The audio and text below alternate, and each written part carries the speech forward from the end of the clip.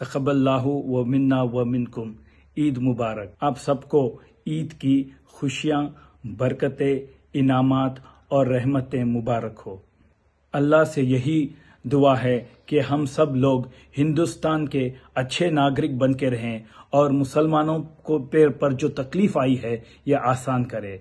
फिर एक बार आप सब लोगों को ईद मुबारक।